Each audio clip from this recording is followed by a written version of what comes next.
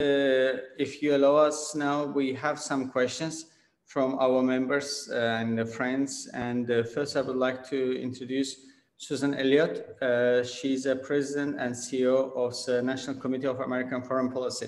And especially, like, you know, as you mentioned, with taking into consideration today's circumstances uh, with um, uh, President Joe Biden's decision, that question will be like, you know, the most valuable.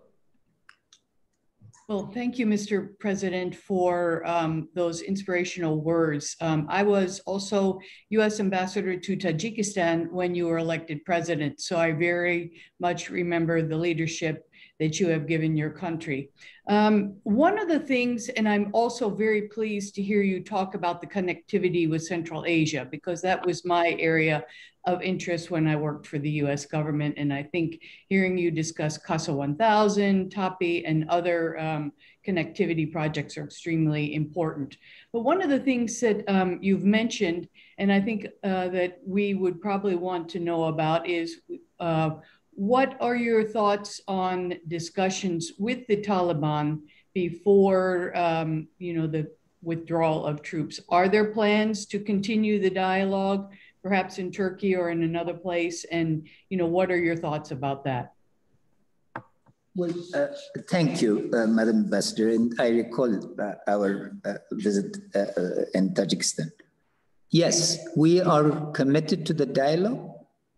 The ball is in the court of the Taliban. We are fully prepared for Istanbul. There's a consensus on this, national and within the government.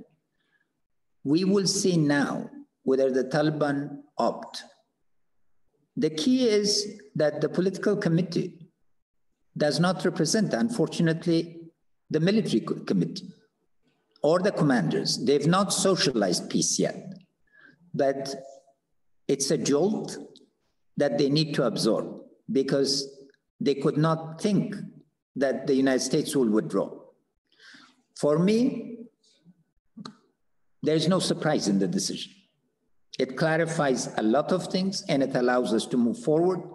Uh, so the right decision will have the consequences of making Taliban think seriously. If they engage in war, they would have lost a golden opportunity. And I hope that they don't do that.